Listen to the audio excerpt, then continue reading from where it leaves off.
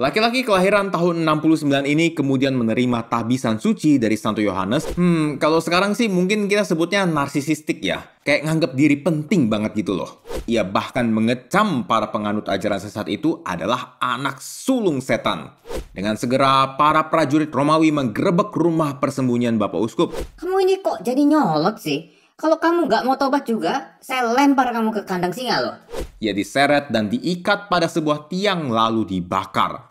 Halo teman-teman semua, welcome back to Rock Riwayat Orang Kudus edisi 23 Februari.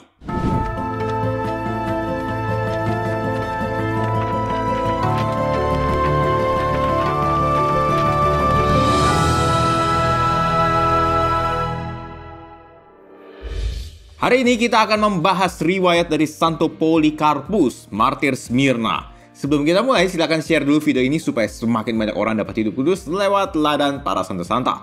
Oke, tanpa berlama-lama lagi, mari kita mulai.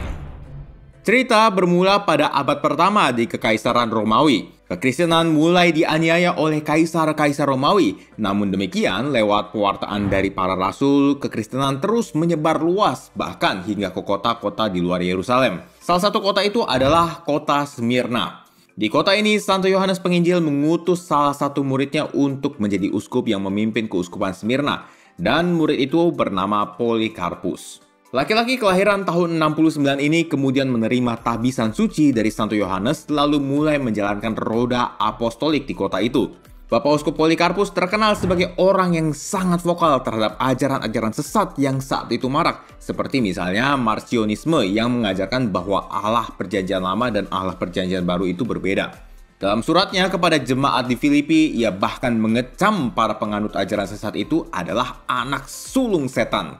Namun demikian, beliau justru menyarankan umat beriman untuk memulihkan mereka yang murtad. Jangan menganggap orang-orang seperti itu sebagai musuh, tetapi sebagai anggota yang sakit dan tersesat. Pulihkan mereka agar Anda dapat menyelamatkan tubuh Anda secara keseluruhan. Karena dengan demikian, kamu saling membangun. Nah, pada saat itu Kaisar Marcus Aurelius memaksa seluruh masyarakat untuk menyembahnya bersama dengan dewa-dewi Romawi lain. Hmm, kalau sekarang sih mungkin kita sebutnya narsisistik ya. Kayak nganggap diri penting banget gitu loh. Namun ternyata orang-orang Kristen pada saat itu menolak melaksanakan perintah konyol ini guys. Sehingga membuat kaisar ngamuk. Ia lalu melancarkan suatu persekusi yang sadis kepada seluruh penganut Kristen. Bahkan orang-orangnya menyerukan, menyahkan orang-orang Kristen kafir. Sehingga banyak umat ditangkap lalu dibunuh di arena-arena olahraga. Pemimpin-pemimpin Kristen menjadi target utama persekusi, sehingga Uskup Polikarpus harus bersembunyi. Sebenarnya sih beliau nggak takut guys, tapi umat beriman memintanya dengan sangat untuk bersembunyi, karena memang peran hierarki gereja itu sangat kuat. Contoh simpelnya ya, kalau nggak ada uskup, nggak ada yang menabiskan pastor. Kalau nggak ada pastor, ya nggak ada yang mempersembahkan misa. Jadi memang sampai sekarang ini hierarki itu sangat penting guys. Nah sayangnya salah seorang pelayan Polikarpus tertangkap dan dipaksa untuk membeberkan seluruh informasi yang ia tahu tentang Kristen. Awalnya mungkin ia menolak, tapi pada akhirnya karena takut akan segala ancaman penyiksaan yang mengerikan, akhirnya ia membocorkan seluruh informasi tentang keberadaan Bapak Uskup. Dengan segera, para prajurit Romawi menggerebek rumah persembunyian Bapak Uskup, lengkap dengan senjata seperti mau perang guys. Namun uniknya Bapak Uskup bukannya takut, malah mengundang prajurit-prajurit itu makan terlebih dahulu di rumahnya. Setelah itu, ia meminta izin untuk berdoa sejenak selama kira-kira 1-2 jam lamanya. Sikapnya ini ternyata membuat para prajurit jadi galau. Kok orang baik kayak begini harus ditangkap ya? Namun perintah tetaplah perintah dan harus dijalankan. Akhirnya Polikarpus ditangkap dan dibawa ke pengadilan yang dipimpin oleh seorang gubernur Romawi. Pak Gubernur sebenarnya merasa kasihan karena kondisinya Polikarpus ini udah tua, sehingga ia ingin mengampuni dan membebaskannya asal dia mau bersumpah kepada Kaisar. Ayolah Pak Poli, apa salahnya menyebut Kaisar sebagai Tuhan? Ya, apa salahnya mempersembahkan kurban bakaran kepada dewa-dewi gitu loh? Hormati usia Bapak. Ayo angkat sumpah pada Kaisar dan saya pasti akan membebaskan Bapak. Hujat Kristus, ayo. Tapi dengan tegas Polikarpus menjawabnya, selama 86 tahun aku telah mengabdi kepada Kristus dan ia tidak pernah menyakitiku. Bagaimana mungkin aku dapat mencaci raja yang telah menyelamatkanku? Kalau Anda berpura-pura lupa siapa saya, saya tegaskan kalau saya adalah orang Kristen. Gubernur yang merasa ditolak kemudian membalas. Kamu ini kok jadi nyolot sih? Kalau kamu nggak mau tobat juga, saya lempar kamu ke kandang singa loh. Atau kalau belum cukup juga, saya bakar kamu hidup-hidup. Dan perdebatan panas ini berakhir dengan jawaban Polikarpus. Lakukan saja seturut kehendakmu. Apimu akan membakar hanya satu jam saja dan kemudian akan padam namun api penghakiman yang akan datang kepadamu adalah abadi. Gubernur lalu memerintahkan para algojo untuk membakarnya hidup-hidup guys. Ia diseret dan diikat pada sebuah tiang lalu dibakar. Para saksi mata melihat api berkobar begitu besar. Namun ajaibnya, Bapak Uskup berdiri tenang aja guys, kayak nggak termakan api. Dan biasanya kalau bakar sesuatu itu kan pasti ada bau gosong ya guys. Nah ini malah yang tercium adalah aroma harum. Setelah satu jam terikat di tiang itu, Bapak Uskup ternyata belum wafat juga, bahkan nggak kenapa-napa. Sehingga para algojo menikam lambung Bapak Uskup dengan tombak supaya ia segera mati.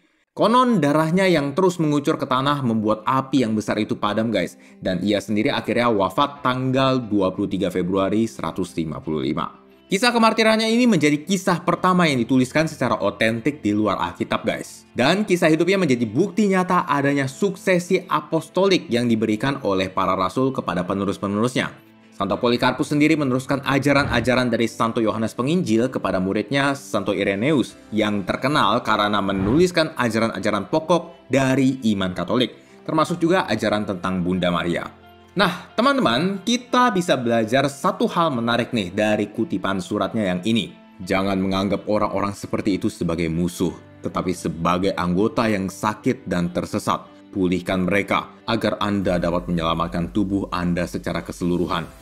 Karena dengan demikian, kamu saling membangun. Beberapa dari kita mungkin punya teman atau saudara yang sudah meninggalkan iman Katolik ya. Tentu gak mudah bagi kita untuk menerima fakta tersebut. Namun, Santo Polikarpus mengajarkan kita untuk tetap mengasihi dan memulihkan mereka karena walau bagaimanapun mereka telah menerima baptisan yang sama dengan kita dan menjadi satu dengan kita di dalam Tuhan. Sekarang pertanyaannya, bagaimana mengasihi dan memulihkan itu? Ya tentu kalau di zaman sekarang kita nggak mungkin keluar-keluar di depan orangnya langsung ya. Kamu berdosa, ayo bertobat. Itu nyari masalah namanya. Namun ada satu hal kecil tapi sangat besar kuasanya yang bisa kita lakukan loh guys, yaitu doa. Yesus sendiri bersabda seperti ini loh, dan apa saja yang kamu minta dalam doa dengan penuh kepercayaan, kamu akan menerimanya. Jadi doa itu benar-benar powerful kan guys. Selain itu, sebisa mungkin kita menghindari tindakan-tindakan yang ofensif terhadap mereka guys, seperti memusuhi, nyinyir, meledek, dan lain-lain. Karena bisa saja mereka melakukan hal itu karena mereka terluka. Dan luka inilah yang sebenarnya harus kita pulihkan, bukan kita tambah. Oleh karena itu teman-teman, mari kita memohon doa Santo Polikarpus bagi teman atau kerabat kita yang telah meninggalkan gereja, agar kehendak dan belas kasih Tuhan saja yang terjadi atas mereka. Santo Polikarpus, doakanlah kami. Amin. Oke guys, begitulah kisah hidup dari Santo Polikarpus. Kalau teman-teman merasa video ini bermanfaat, teman-teman boleh like, subscribe, dan share untuk mendukung perkembangan channel ini. Terima kasih sudah menonton dan sampai jumpa di rock edisi selanjutnya. Adios, sas!